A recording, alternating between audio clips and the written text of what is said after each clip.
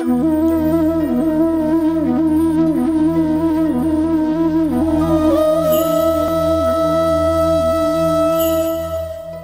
very good morning.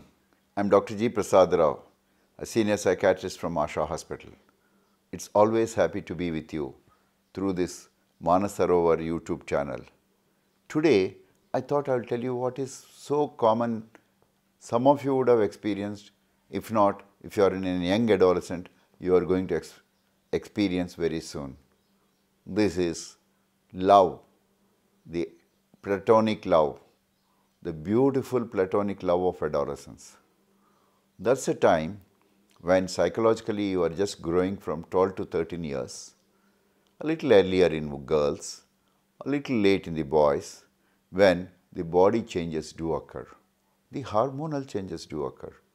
The hormones within you, and I'm referring specially to the sexual hormones, would make you change the body into a much more adult or you can say adolescent to adult body, which gives essentially by your nutrition, by your genetics, but also by the modernism where you tend to develop your own food fats, you eat well or don't eat well, that leads.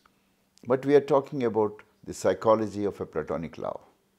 Many times it does happen that boys starts liking their teachers or girls start liking their teachers who is attractive, who talks well, who talks beautifully, who gives them comfort. In fact, though the age gap at that point of time we call that is the kiddish love is an attraction, but this is not definitely a kind of a sexual in nature. It is a kind of an attachment. But more typically between adolescent, it is the first crush and first love. I am sure quite a lot of you or most of you would have experienced this. This Freud said more than 100 years back that you tend to love your opposite parent, opposite sex parent. For examples, girls get attracted to the what the father's traits and try to look those traits in the boys and say, oh, he looks just like my father.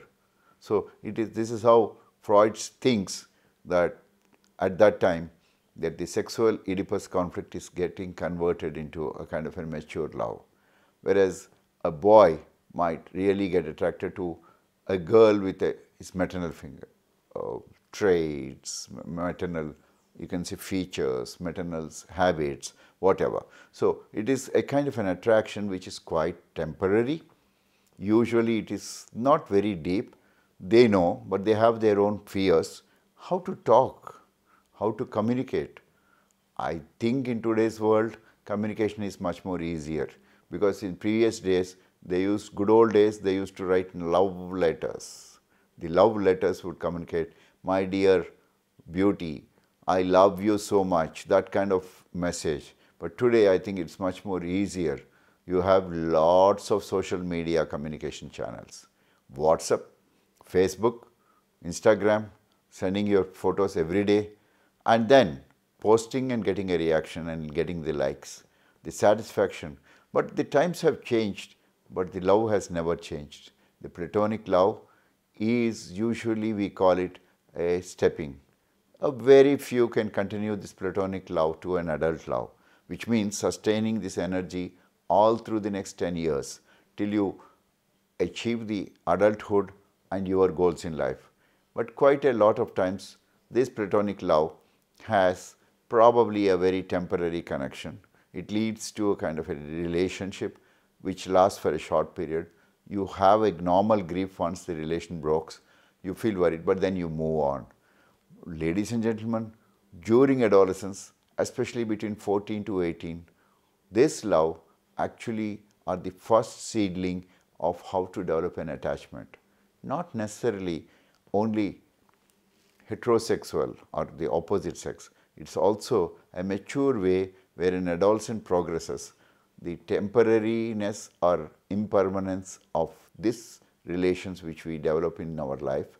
Some of these relations, especially when your like mindedness joins the others, when you develop a relationship with others, you know you're looking for some traits which are common between both of you. So this actually platonic, adolescent platonic love leads to your future personality. And I'm sure you understand this is needed, this is also lovely, this is beautiful to the extent it should be looked at. And I'm sure from this, the adult mature relations develop. So, ladies and gentlemen, having a platonic relationship is not wrong. In fact, much older as you grow up, by 25, 30, you start joking on yourself. Sometimes your friends joke on this platonic relationship, your first crush or your early crushes, and the crushes keep might be keep changing, but the permanence is you are developing a maturity.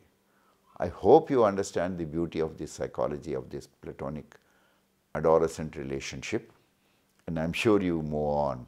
You would have moved on if you're an adult.